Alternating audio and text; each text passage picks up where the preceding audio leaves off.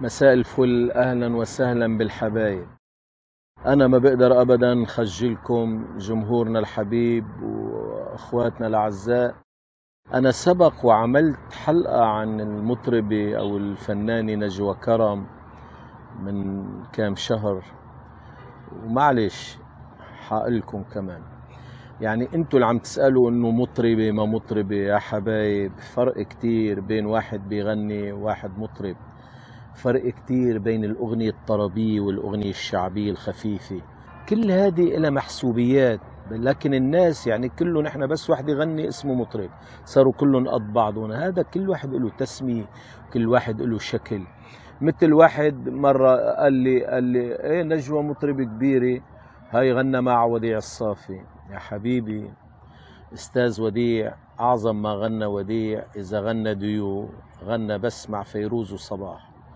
شوف كيف مغنى مع صباح بعز الشباب وعز العطاء. هو صباح اللي هزوا الدنيا وفيروز أيضا يعني هالتريول إن كان مع فيروز أو صباح. لما غنى الأستاذ وديع مع نجوى أراد يعطيها قيمة لنجوى يعني من حق كل واحد ليكو غنى مع هذا أندرياس ما بعرف شو هو. يعني اليوم مو شرط الإنسان شرط نحن اللي بيوصلنا شو بنسمعه. نجوى مطربة شعبية أو مغنية شعبية هلا أنا ليش أنا مالي عندها شيء ابدا. أنا بقول كلام في ضمير. ما لي عندها شيء. شو بقى؟ أنا بعرفها متشاكل معها. لا لا. نجوى فيها تغني نصف ساعة ثلاث أرباع الساعة. ممكن أنا أسمع هيك. بعدين ما بقى هذا صوت نجوى. بينما الغناء اللي بيفهم بالغناء بيغني أربع ساعات كل ما تاخر بالمغنى كل ما جات صوته مثل الديزل هذا هو اسمه المطرب. اللي بيقنعك بالمد بطول النفس بعدها بيحمى بعدها كل شوي شوي بيعطيك من عنده من العطاء. أما في ناس بتغني بالأول بعدين بيضعفوا شوي شوي بيصيروا بالعكس ما عاد عندهم شيء. هدول اسمهم مغنون ما اسمهم مطربين واليوم قلت لكم لما بتسمع أغنية باستوديو في كتير مطربات أنا بسمعها باستوديو حلوة على ال live ما بتسوى شيء.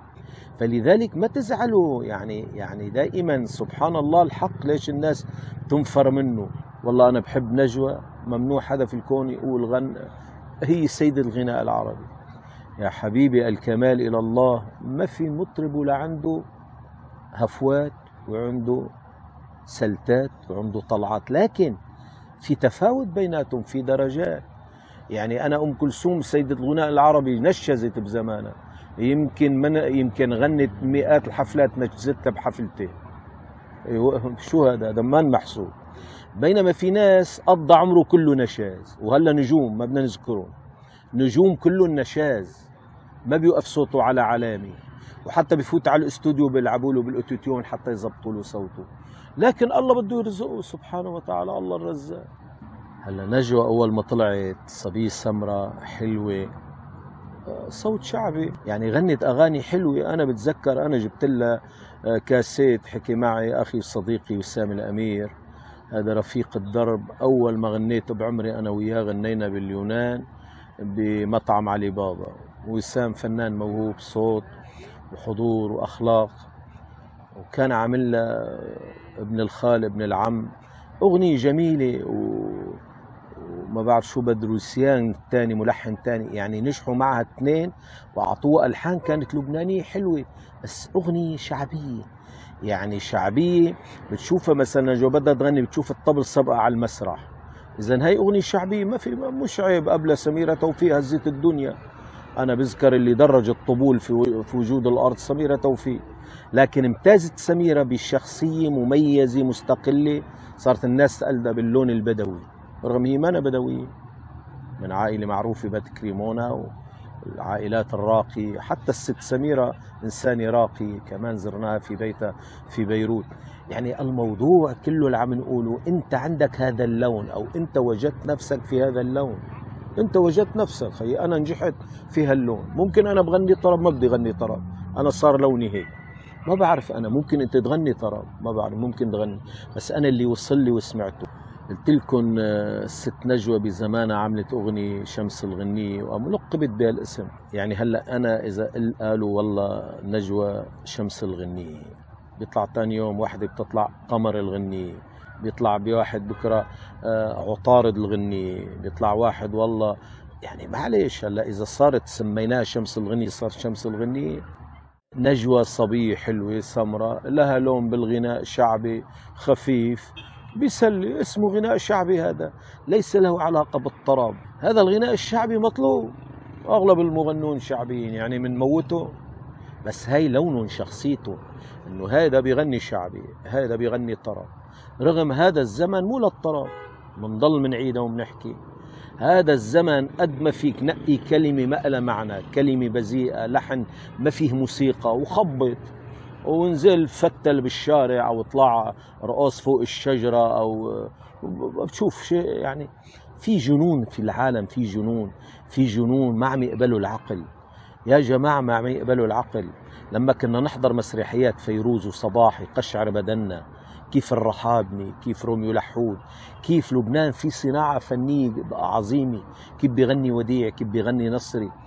هذا تراث لبنان العظيم هذا تراث لبنان. ورغم ذلك ما قلنا إنه نجوى لا لا نجوى كمان مطربة على قد لها رسمي على قد اسمها الأغنية الشعبية ونجحت فيها. والله يوفقها.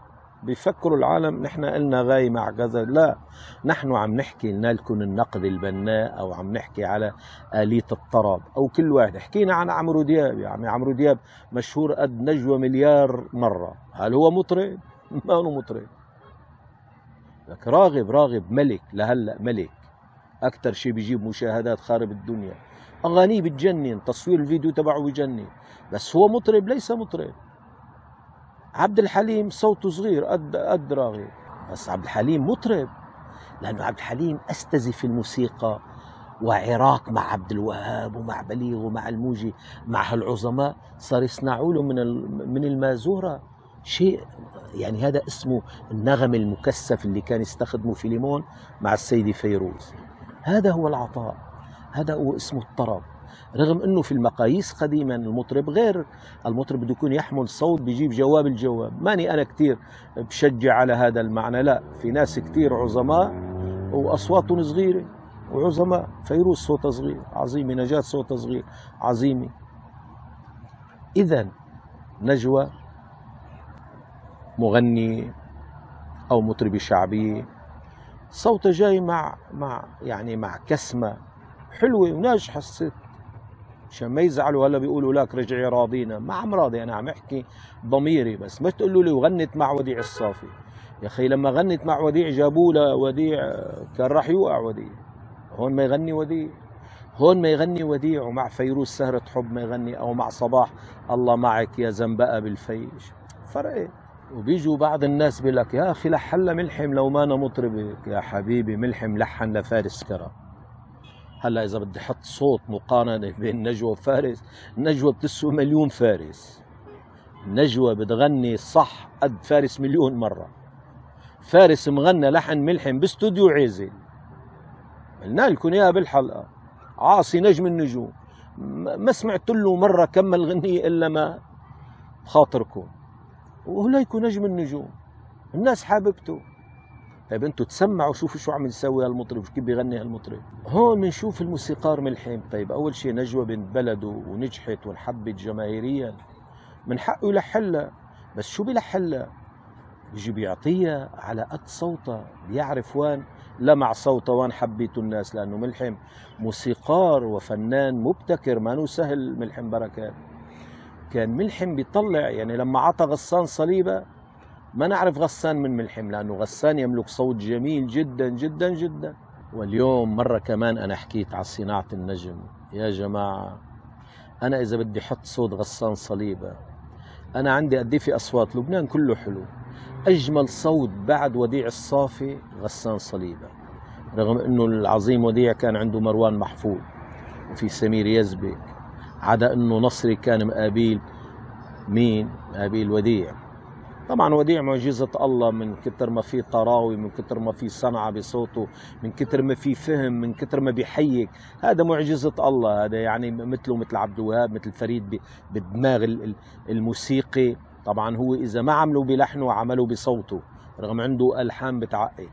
لكن اليوم مو شرط أنت يكون صوتك حلو تكون نجم النجوم. لا لا. في كثير ناس لا يساوي شيء. إذا اليوم بدنا نتحاسب على هذا الزمن هلا هلا هلا نحن عام 2021 كل المطربين صفر.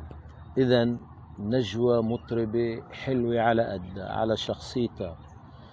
ما بتتقارن مع فيروز ولا مع صباح وإذا بتغني مليار سنة.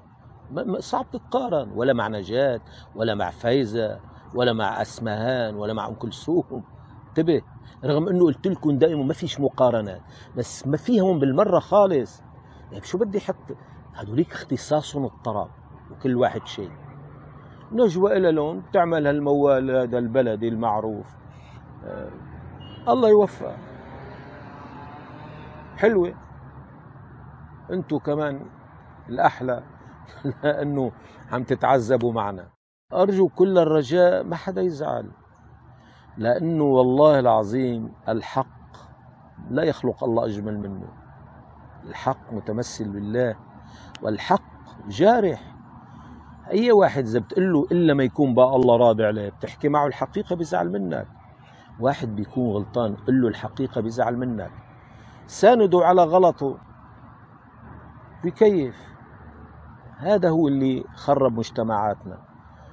أنا قلت لكم ما إذا بموت ما بحكي غير الحق. الحق بيوصلني إلى الله. أنا مالي عند حدا شيء. بعدين أنا ويني من هدول نجوم أنا قاعد بالبيت مسكين. فمعقول قارن حالي فيها أو محسدة لعن الله الحاسدين. أنا عم أحكي حقيقة. لما أنت عم تطلب هذا الصوت مطرب هذا الصوت معلم هذا الصوت كذا هذا الصوت كذا هذا الصوت كذا. يعني لما بتشوف أنت والله طيب الله سبحانه وتعالى خالق هالكون. يا أخي ليش واحد سوبر ملياردير واحد سوبر شحادة يعني مو كلنا مخلوقات. في شيء بقى هذا له ثقافة وله دراسة ولا يعلمه إلا الله والراسخون في العلم والأصوات هيك والغناء هيك والحياة كلها هيك. بس نجوى فنانة موجودة موجودة غصبا عني وعنا. بس هي مطربة؟ لا. اللي الوديع جورج وسوف مطرب يقول لك نعم. هو عم يحكي بيطربني. في عنده صنعة في عنده شيء من الله سبحانه وتعالى. إذا حبايبي شكرا لإصغائكم واللي عم يطلبوا منا الحلقات كمان متشكرون. و... نبعث لها بطاقة حب لنجوى مشان ما تزعل. نجوى لها لون خاص ما حدا فيه ينكره الله يوفقها ويهدينا جميعا إلى الصراط المستقيم وشكرا يا حبايبي شكرا.